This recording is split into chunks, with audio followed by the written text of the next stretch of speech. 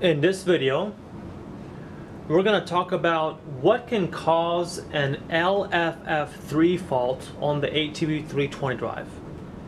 Now the LFF3 fault is a 4 to 20 milliamp loss.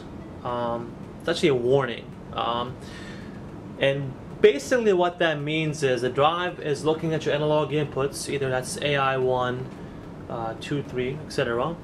And if it does not see any kind of signal coming into those inputs, either or, then then that, that's why you get this particular warning. Now, that might be an error or that might be valid, uh, but if you want to check to see if it's programmed or if you want to unassign it, if it should not be there, then what you can do is your main menu, you want to press enter. You want to scroll down into configuration, enter. Scroll down to full, enter. You're going to go down to I.O., enter. Scroll down into, there's actually th uh, three things we can take a look at here. Um, the first one is AI1C, the second is AI2C and AI3C. These are your alarms parameters. So you can press on each one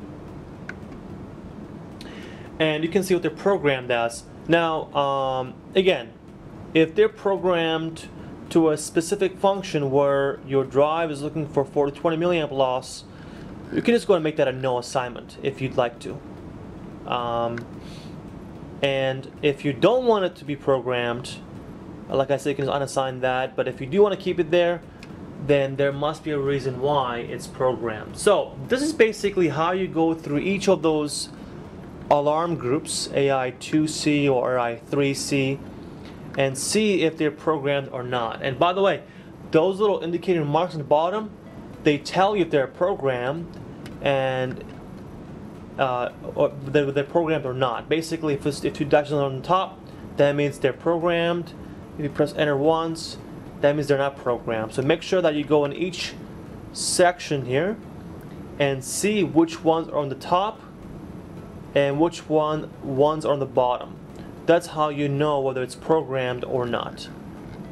And we just press that, so that's basically it. So right now we have, with the exception of this one, alright, so right now this means that we have nothing programmed for an alarm group, so it's unassigned. But again, if something is programmed like a 4 to 20 milliamp loss, you can see if that dashes on the top or not. And that's basically how you check and see how the 320 is programmed for the alarm group for 4 to 20 milliamp loss. Música